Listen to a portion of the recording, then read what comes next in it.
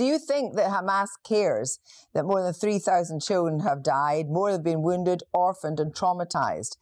When you're looking at international law, do you agree that, that Hamas is breaking law? Excuse me, what question is it? I don't know if Hamas cares or not, but I know that it's Israel's responsibility not to bomb a 360 square meter kilometer uh, strip of land where the people are besieged. Excuse me, I cannot be in an interview where I've just heard someone saying we are doing all, everything that we can to avoid civilian loss of life.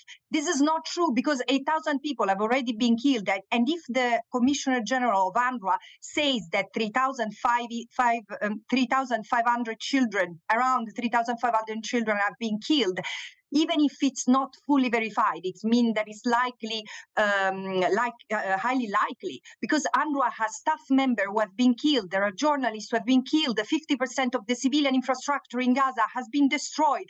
The Palestinians in Gaza have nowhere to go. Please imagine what it is to have 2 million people 200,000 living in 300 square meters, which is being bombed north to south. Where do these people have to go? There is no safe haven. These people are trapped and are being, ki- are being killed. This is what Israel is pursuing.